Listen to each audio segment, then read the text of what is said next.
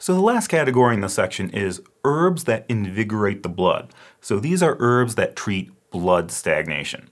And I should apologize in advance. I have a tendency to say blood stagnation instead of blood stasis. Technically, these are two different characters in Chinese. When the qi is not moving, we say qi zhi, qi stagnation. And when the blood is not moving, or it's moving sluggishly, we say xue yu, blood stasis. But really, these two things mean the same thing. It's like saying Merry Christmas versus Happy New Year. What's the difference between merry and happy? They kind of mean the same thing, we just idiomatically attach them to different terms. So hopefully you don't get too confused if I occasionally say blood stagnation. I really mean blood stasis. So blood stasis is the inhibited movement or non-movement of blood through the vessels. This can have several causes.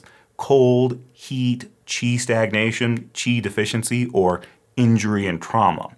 But the main things we're treating here are pain conditions, because where there's stagnation, there's pain, and menstruation issues like painful menses, amenorrhea, or abnormal uterine bleeding. Or we might also see things like lumps, accumulations, or abdominal masses due to blood stagnation or blood stasis. When we look at the properties, these herbs are usually warm in temperature because warm is moving, but some are cold, so that's something we'll want to pay attention to. Most are acrid because the acrid flavor moves and disperses, and they all enter the liver channel because the liver stores blood, and some of them enter the heart channel because the heart governs blood or moves blood. And because they promote movement, Many of these herbs are contraindicated during pregnancy. It kind of depends on how strongly they move blood. The herbs that gently move blood are okay to use, but the herbs that strongly move blood or break the blood are definitely contraindicated. So this is another long category. It turns out that Wiseman and Brand will actually group them based on herbs that relieve pain, herbs that regulate menses, herbs that break up masses, and herbs for injury and trauma.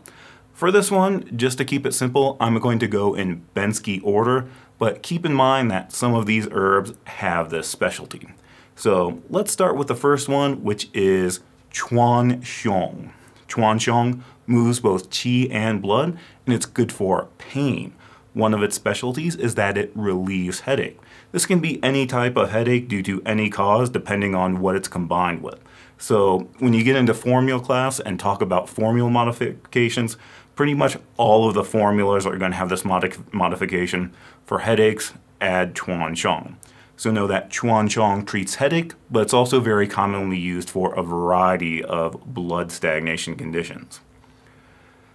Chi Shao is red peony. We should know that it both invigorates blood and cools the blood. Remember we had another herb like this, Mudan Pi? So Mudan Pi is in the cool the blood category, but it also invigorates blood. And here Chi Shao is in the invigorate blood category, but it also cools the blood. Dan Shen is also cool in temperature, and for this one, I would think about the chest and the heart. I mean, Dan Shen is also used for gynecological issues, but it's one of our best herbs for treating chest bi and heart pain due to stagnation. It also clears heat to calm Shen, so Dan Shen calms the Shen. Dan means cinnabar, same as like Dan Tien. So Dan Shen means uh, so Dan Shen means cinnabar root, referring to the color. Ji Xue Teng invigorates blood and sorry, Ji Xue Teng invigorates blood, tonifies blood, and unblocks the channels and relaxes the sinews. These things make it especially useful for wind in the channels or bi syndrome. Teng means vine, so you can think that vines are soft and flexible, so that's why vines tend to be used to treat bi syndrome. The name means chicken blood vine, which again is referring to the color. Yan Hu Suo, move qi and blood to stop pain. It can be used to treat pain from a variety of causes anywhere in the body depending on the combination. I believe Yan Hu Suo is in the poppy family, which is the same family that the opium plant is in. Now, this is not the same as opium. It's not as strong in its action, and it doesn't have that habit-forming addiction thing, but that's just a way I like to remember that Yan Hu Suo stops pain.